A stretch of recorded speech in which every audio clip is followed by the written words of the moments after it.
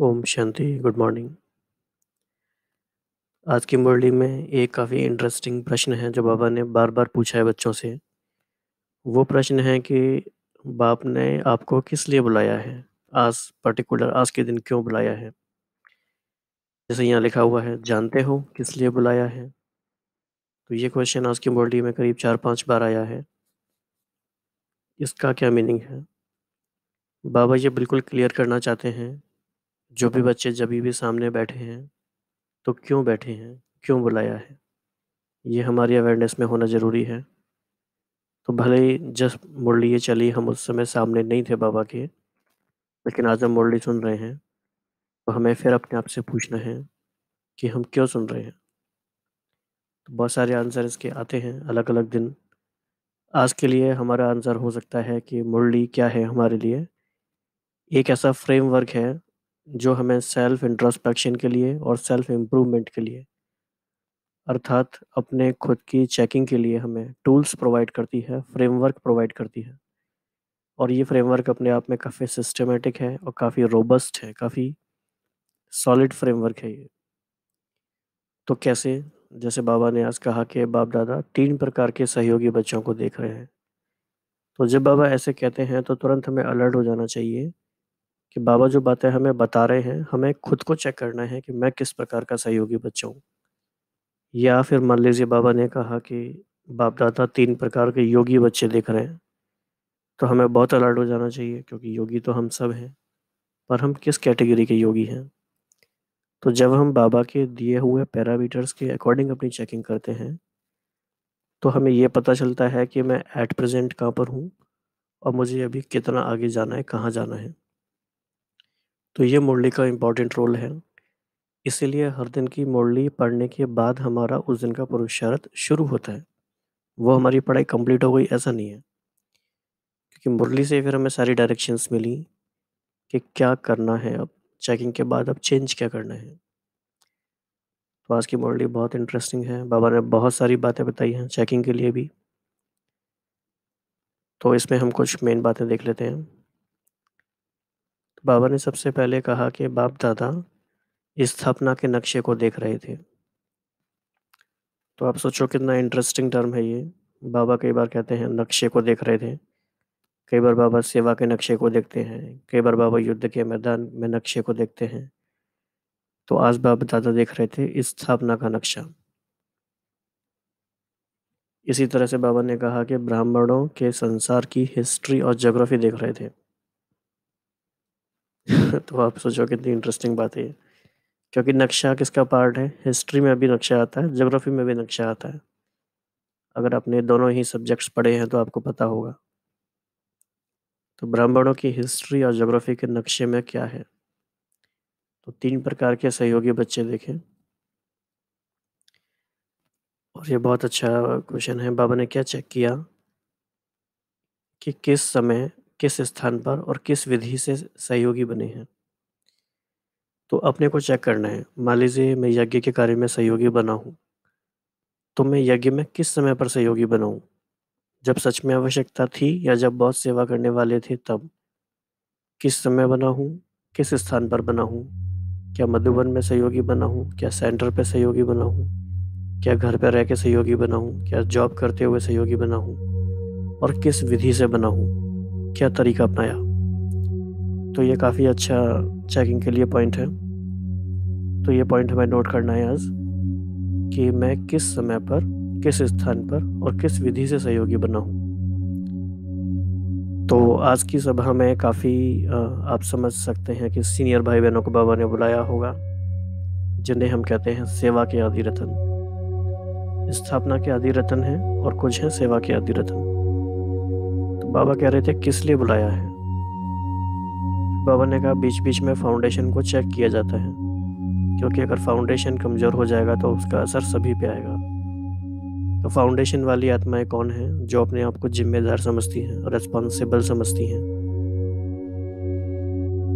तो सेवा के जो आदि रतन है, वो सारे फाउंडेशन वाली आत्माएँ हैं। और बाकी हम में से जो भी अभी अपने आप को रेस्पॉन्सिबल समझता है, किसी भी सेवा के लिए, कहीं भी तो वो सब फाउंडेशन है। वैसे तो बाबा ने कहा कि हर एक ब्राह्मण फाउंडेशन रिस्पॉन्सिबल है, क्योंकि आप जहाँ भी हो आप वहाँ पे बहुत सारी आत्माओं के लिए तो रिस्पॉन्सिबल हो ही। फिर बाबा ने काफ़ी इंटरेस्टिंग बात बोली कि पुरानों को अपनी वैल्यू पता है कहीं ऐसा तो नहीं है कि नए नए पत्तों की चमक में, दमक में पुरानों की वैल्यू उन्होंने अपनी वैल्यू भूल गए। तो ये भी एक इंट्रोस्पेक्शन का पॉइंट है उनके लिए। बाबा ने उनका महत्व भी याद दिलाया है। बाबा ने कहा कि पुराने जो पत्ते होते हैं ना, उनकी तो दवाइयाँ बनती हैं। पुरानी चीज़ों की तो बहुत वैल्यू होती है। पुरानी चीज़ों को तो म्यूज़ियम में रखा जाता है। उनकी विशेष यादगार होती है। तो पुरानी चीज़ें मतलब ऑब्सोलीट नहीं है। रादर दे आर एंटीक तो उस तरह से भी हम सोच सकते हैं। फिर बाबा ने कहा कि भाग्य के स्मृति स्वरूप हो। भाग्य हम सबको पता है कि हमारा भाग्य बहुत बड़ा है, लेकिन क्या उस भाग्य के स्मृति स्वरूप हम हैं, इमर्ज रूप में हैं? जैसे कि बाबा ने कहा कि पूरे कल्प में एक बार ये मौका मिलता है, सामने आके मिलने का। Once in five thousand years फिर बाबा ने कहा चेकिंग के लिए कि छोड़ो तो छोड़ो, चार बातों में चेकिंग करनी है। तो चार बातें कौन सी हैं, वो भी हम देखेंगे आज। फिर बाबा ने कहा कि, बुज़ुर्ग आत्माएँ सामने बैठी हैं, भले ही कुछ बुज़ुर्ग आत्माएँ होंगी। बाबा जब उनसे कुछ पूछ रहे थे तो शायद उन्होंने जवाब उतना फुर्ती से नहीं दिया होगा।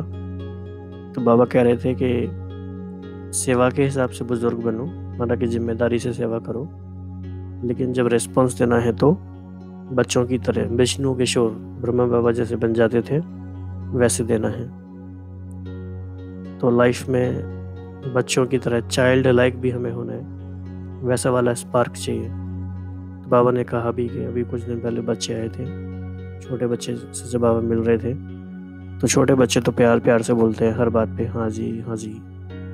तो ऐसे ही बड़ों को भी सीखना है। तो आप देखेंगे कि सारी ही बातें बाबा सिखाते हैं।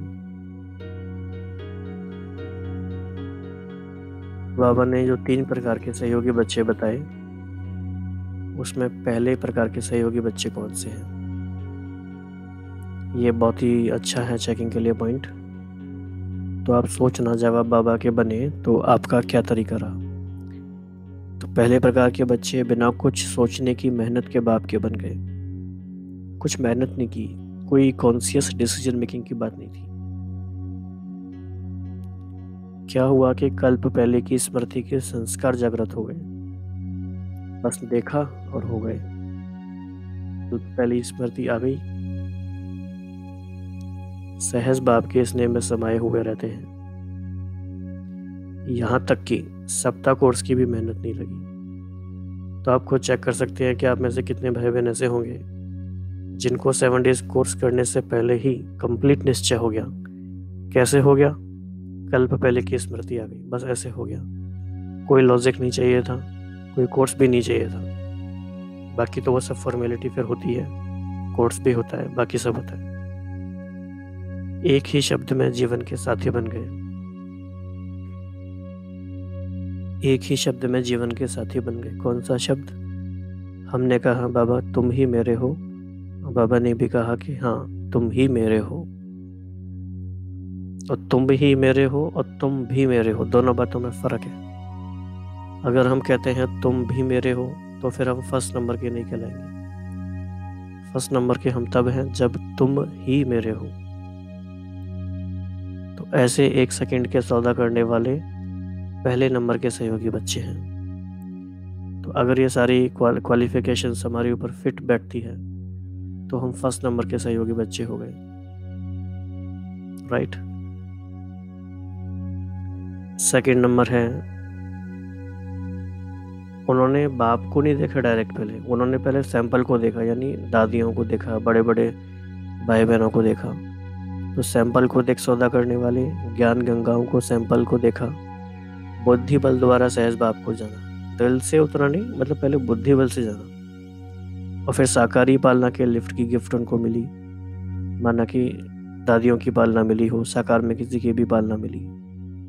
चाहे ब्रह्मा बाबा की पालना मिली। तो ये सेकंड नंबर के सहयोगी बच्चे हैं। तीसरे नंबर का शायद बाबर ने डिस्क्रिप्शन नहीं दिया है। तो इसके अलावा बाबा ने बताया कि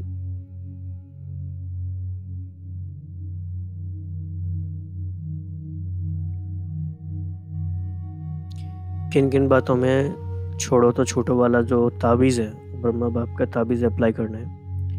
तो वो चार बातें हैं। देही अभिमानी बनने में, नष्टो मोहा बनने में, अलौकिक सेवा की सफलता के क्षेत्र में और स्वभाव संस्कारों के संपर्क में। लेकिन इन सारी बातों की बहुत गहराई है। आपस में सारी बातों में कनेक्शन है। तो उन बातों को भी हम देखेंगे।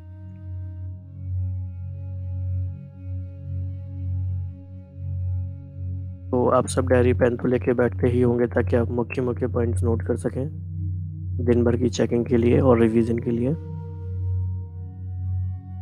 तो आइए फिर शुरू करेंगे। आज बाप दादा अपने आदि स्थापना के कार्य में निमित्त बने हुए सहयोगी बच्चों को देख रहे हैं। सभी सहयोगी बच्चों के भाग्य को देख हर्षित हो रहे हैं। स्थापना के नक्शे को देख रहे थे। आदिकाल श्रेष्ठ ब्राह्मणों के संसार की हिस्ट्री और ज्योग्राफी को देख रहे थे। कौन कौन श्रेष्ठ आत्माएँ किस समय, किस स्थान पर और किस विधि पूर्वक सहयोगी बने हैं? तो क्या देखा? तीन प्रकार के सहयोगी बच्चे देखे। तो पहले नंबर ये बहुत इम्पोर्टेंट है, ध्यान से सुनना इसको। एक बाप दादा के अलौकिक कर्तव्य को देख। बाप दादा की मोहनी मूर्त, रूहानी सीरत को देख। बिना कुछ सोचने की मेहनत के देखा और देखने से कल्प पहले की स्मृति के संस्कार प्रत्यक्ष हो गए।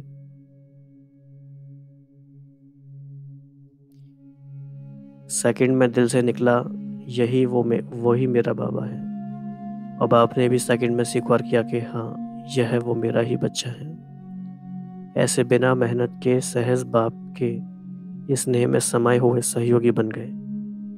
सप्ताह कोर्स की भी मेहनत नहीं की, लेकिन ईश्वरीय स्नेह के फोर्स से बाप और बच्चों का मिलन हो गया। एक ही शब्द में जीवन के साथी बन गए। बच्चों ने कहा, तुम ही मेरे। बाप ने कहा, तुम ही मेरे। मेहनत का सवाल नहीं। ऐसे सेकंड के सौदे वाले बिना मेहनत, मोहब्बत में समाये हुए हैं। तो सोचोगे कितनी कमल की बात है कि कल्प पहले की स्मृति एक सेकंड में आ जाती है। Without any logic without convincing without any persuasion just देखा और एक सेकंड में सौदा हो गया। तो क्या हम, हमारा जीवन ऐसा रहा?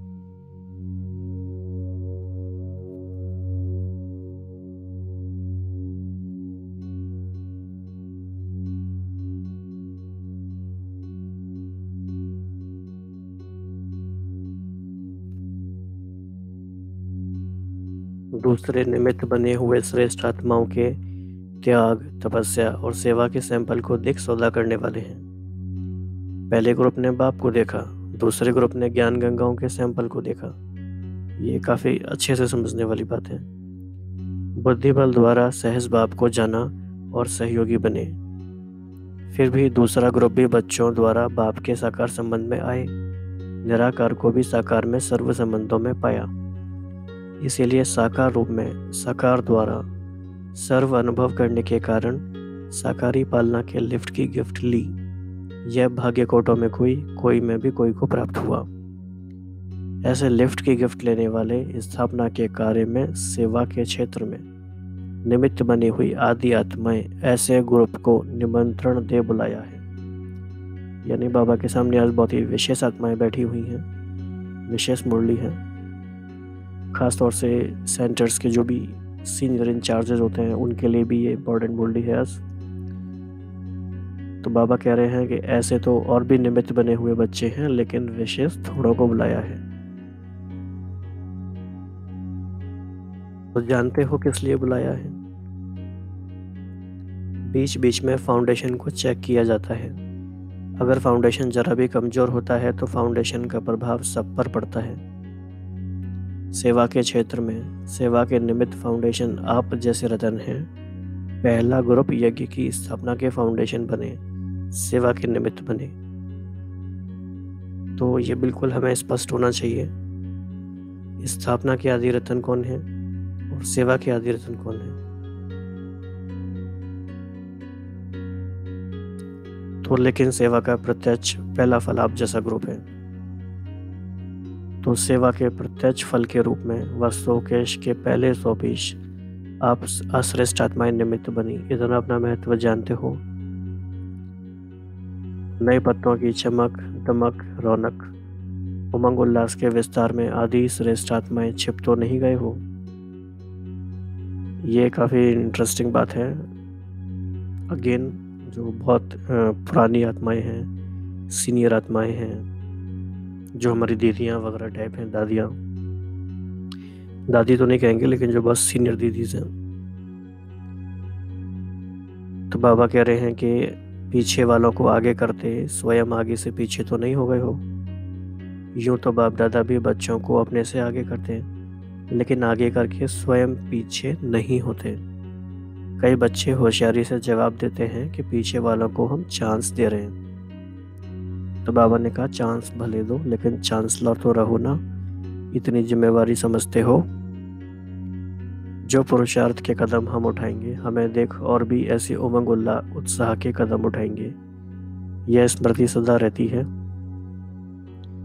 तो नए नए हैं, लेकिन पुरानों की वैल्यू अपनी है। तो बाबा फिर समझा रहे हैं कि पुरानों की वैल्यू कैसे है। बाबा ने एग्ज़ाम्पल दिया है कि पुराने पत्तों से कितनी दवाइयाँ बनती हैं। जानते हो ना, पुरानी चीज़ों का कितना मूल्य होता है। पुरानी वस्तुएँ विशेष यादगार बन जाती हैं। पुरानी चीज़ों के विशेष म्यूज़ियम बनते हैं। पुरानों की वैल्यू जानते हुए उस वैल्यू प्रमाण कदम उठा रहे हो। अपने आप को इतना अमूल्य रतन समझते हो। बाप समान उड़ते पंछी हो। ब्रह्मा बाप की पालना का रिटर्न दे रहे हो। तो ये बातें शायद इसलिए भी ज़रूरी होंगी कि कई बार क्या होता है, जब नए नए बच्चे आते हैं, जो ज़्यादा एक्टिव होते हैं सेवा में तो पुराने सोचते हैं कि ठीक है नयों को चांस देते हैं तो वो थोड़े फिर पीछे हो जाते हैं। तो पीछे होने का नयों को आगे करना अलग बात है, लेकिन बाबा उनको फिर भी याद दिला रहे हैं कि आपको क्या क्या करना है, आपकी ज़िम्मेदारी क्या क्या है।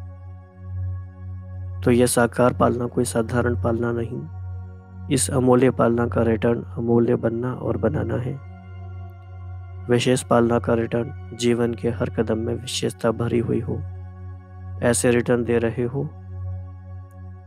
सारे कल्प के अंदर एक बार यह पालना मिलती है और उसके अधिकारी आप विशेष आत्माएँ हो। ऐसे अपने अधिकार के भाग्य को जानते हो। ये रियलाइजेशन की बात है, ये बहुत छोटी बात लगती होगी किसी किसी को, लेकिन अगर हमें सिर्फ़ इतनी बात भी याद रहे तो हम निरंतर योगी बन जाएँ। जो हमें मिला है, उसकी रियलाइजेशन हमें होनी चाहिए। तो आज ऐसे भाग्यवान बच्चों से मिलने आए हैं। तो बाबा ने फिर कहा तो समझा क्यों बुलाया है? तो रिज़ल्ट तो देखेंगे ना। तो इस तरह से बाबा बच्चों से मिलते होंगे। आप देख सकते हैं सारे वरिष्ठ भाई बहने हमारे बैठे हुए हैं बाबा के आसपास। आपको दिखाई दे रहा है। जगदीश भाई जी बैठे हैं और बाकी काफ़ी भाई बहने पर क्लियर समझ नहीं आ रहा। ओके तो ये सारा ग्रुप तो ब्रह्मा बाप की हर कदम पर फॉलो करने वाले हैं ना? क्योंकि इन साकार आँखों से देखा, सिर्फ़ दिव्य नेत्र से नहीं देखा।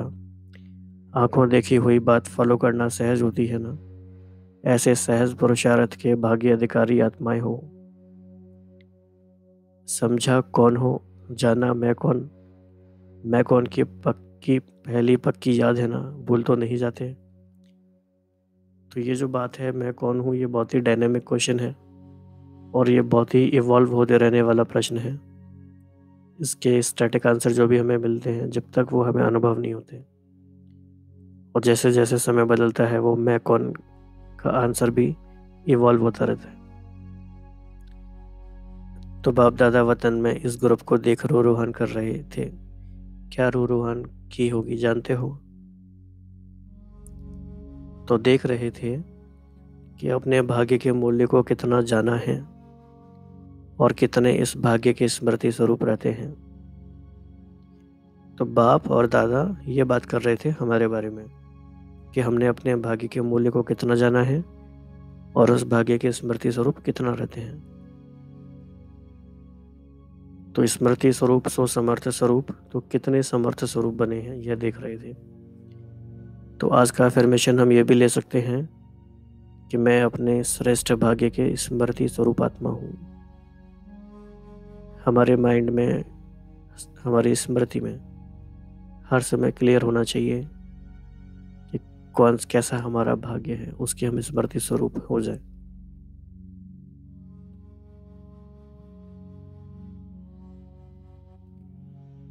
तो विस्मृति और स्मृति की सीढ़ी पर उतरते और चढ़ते हैं।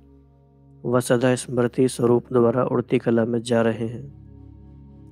ऐसे तो नहीं, पुराने पुराने विधि पूर्वक चलने वाले हैं। तो पुराने हैं, पर पुरानी विधि को बदलना है। उस विधि से अब चल नहीं सकेंगे। तो कहीं ऐसा ना हो तो उड़ती कला के बजाय अब तक भी सीढ़ी उतरते चढ़ते रहते। यह सब बच्चों की विधि देख रहे थे।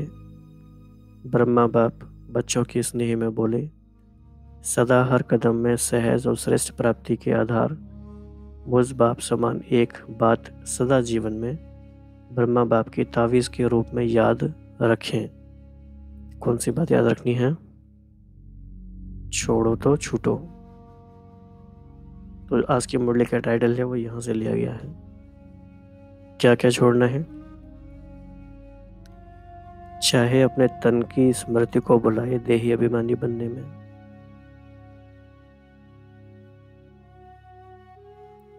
चाहे संबंध के लगाव से नष्ट मोहा बनने में।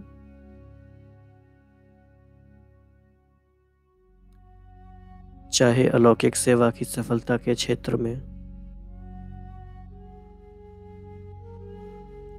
चाहे स्वभाव संस्कारों के संपर्क में। सभी बातों में छोड़ो तो छोड़ो ये चारों काफ़ी बड़ी बातें हैं। इन चारों को नोट करके चेकिंग करेंगे दिन भर में। चाहे ट्रैफ़िक कंट्रोल के टाइम चाहे स्पेशल टाइम निकाल के तो इससे काफ़ी जल्दी जल्दी आगे बढ़ने में हेल्प मिलेगी। कि कितना परसेंटेज तक अभी हम तन की स्मृति को बुलाए देही अभिमानी बने हैं। कितना संबंधों से लगाव हटा करके नष्ट मोहा बने हैं। अलौकिक सेवा की सफलता के क्षेत्र में, इससे भी कितना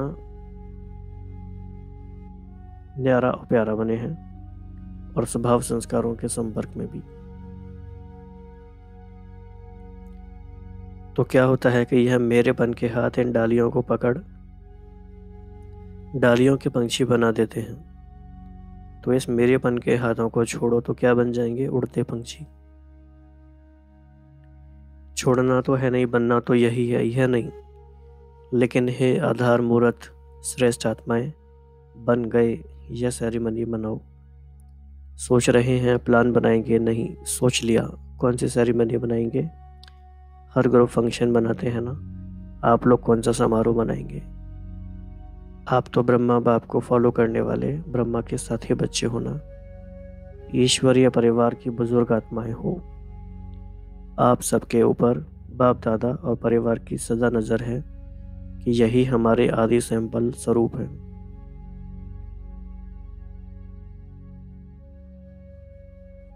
कितनी बड़ी बात है ये।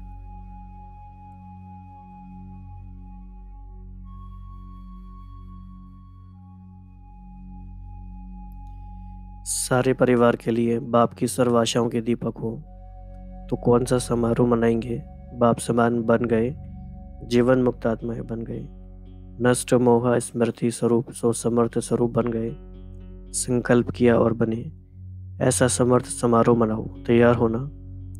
वह अभी भी सोचते हो, करना तो चाहिए चाहिए नहीं, लेकिन बाप की सर्व चाह पूर्ण करने वाले हम आदि सैंपल हैं। ऐसे निश्चय बुद्धि विजय रतन विजय का समारोह बनाओ। तो समझा किस लिए बुलाया है? तो आप देखो, आज बाबा ने कितनी बार ये हैमरिंग की है इस बात की कि किस लिए बुलाया है, किस लिए बुलाया है, किस लिए बुलाया है। It has to be clear तो स्पष्ट हो गया ना? तो ये बात हमें, हमसे भी पूछनी चाहिए अपने आप से कि हम क्यों बाबा के पास आए हैं? क्यों हम बीके बने?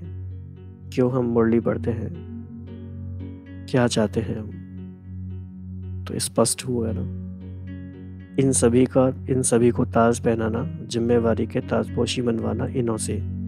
इसलिए आए हो ना। तो बाबा तो कम्युनिकेशन कर रहे हैं, वो शायद बोलते नहीं होंगे तो बाबा ने कहा, बोलते नहीं हो। बुज़ुर्ग हो गए हो। तो बाबा फिर बता रहे कि नहीं, ऐसा नहीं करना है। ब्रह्मा बाप को देखा, क्या देखा? अभी अभी बुज़ुर्ग और अभी अभी मिचनू किशोर देखा ना? फॉलो फादर हाँ जी फॉलो फादर हाँ जी करने में मिचनू किशोर बन जाओ और सेवा में बुज़ुर्ग। तो छोटे बच्चों की रौनक देखी ना, कितने मज़े से कहते थे हाँ जी हाँ जी। क्या लेसन इस बात का? बच्चों की तरह जवाब देना है कभी कभी इंटरेक्टिव होना है। जहाँ बोलना है, वहाँ बोलना है, वहाँ चुप नहीं रहना है। तो जब हम कह रहे हैं बाप समान बनना है तो बाप समान इन बातों में भी बनना है। तो जैसे जैसे हम मुरली बढ़ते जाते हैं सारी तो हमें यह भी समझ में आता जाता है कि बाप समान मतलब क्या? राइट तो विशेष निमंत्रण पर विशेष आत्माएँ आई हैं। अभी विशेष सेवा की जिम्मेवारी का फिर से समारोह मनाना। बीच बीच में ताज उतार देते हो। अभी ऐसा टाइट करके जाना जो उतारो नहीं। अच्छा फिर सुनाएँगे कि समारोह की रिज़ल्ट क्या हुई। अच्छा। सदा सर्वात्माओं के निमित्त उमंग उत्साह दिलाने वाले सदा हर पुरुषार्थ के कदम द्वारा औरों को तीव्र पुरुषार्थी बनाने वाले, व्यर्थ को सेकंड में छोड़ो और छूटो करने वाले सदा ब्रह्मा बाप को फॉलो करने वाले ऐसे सेवा के आदि रत्नों को, पालना के भाग्यवान विशेष आत्माओं को बाप दादा का याद प्यार और नमस्ते। हम सभी बच्चों का भी इतनी श्रेष्ठ पालना करने वाले, प्यार से समझाने वाले बाप दादा को बहुत बहुत धन्यवाद और नमस्ते। तो आज की मुरली का इसका एक सेकेंड पार्ट भी है, जो मीटिंग्स का पार्ट है, वो भी बहुत बहुत इंपॉर्टेंट है। लेकिन क्योंकि बहुत लंबी मुरली है तो उसको सेकेंड पार्ट में हम कवर करेंगे। तो विशेष उस पर भी ध्यान देना है। तो आप देखेंगे कि जैसे जैसे मुरली पढ़ते जाते हैं, कितनी एब्सोल्यूट क्लैरिटी आती है पुरुषार्थ में। हर एक दिन के लिए रास्ता मिलता है। बाबा कहते हैं लाइट आ जाती है। और लाइट आने से जो रास्ता दिखता है तो स्पीड बढ़ जाती है। और जब लाइट कम होती है तो स्पीड स्लो हो जाती है।